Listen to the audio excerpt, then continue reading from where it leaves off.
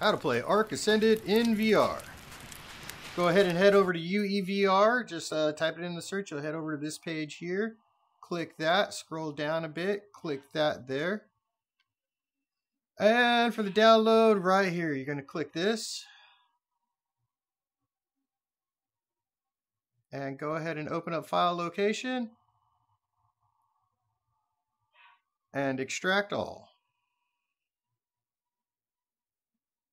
Now go ahead and extract to wherever you want to. Uh, just remember where you put it. Now you're going to open up your UEVR injector and you're going to head over to Steam and you're going to open up Ark Ascended VR. Go ahead and click the Play Ark No BattlEye anti-cheat option and start that up. Now, if you have your headset on and in PC VR, you should be able to hit the inject button right here. And it will connect your headset to the game. Here we go. Yay! Now there's a couple of options you're going to want to change in this uh, UEVR menu. Uh, for me, the run times that work best are the synchronized sequential and the skip draw.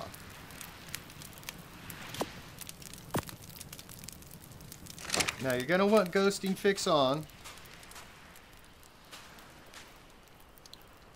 And to get your VR correct, you're going to have to change your inputs. You're going to want to go into your aim method and turn that to headset HMD. And also you're going to want to change your movement direction to head HMD also. Now go ahead and activate your room scale movement and your sweep movement. And there you go. Now there are a ton of settings in here. Um, you, you know, uh, go ahead and mess around with them, figure out which ones work best.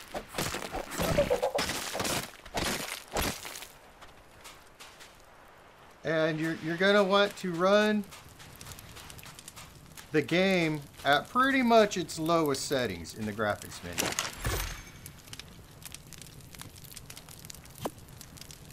Now there's tons of things in here you can uh, customize.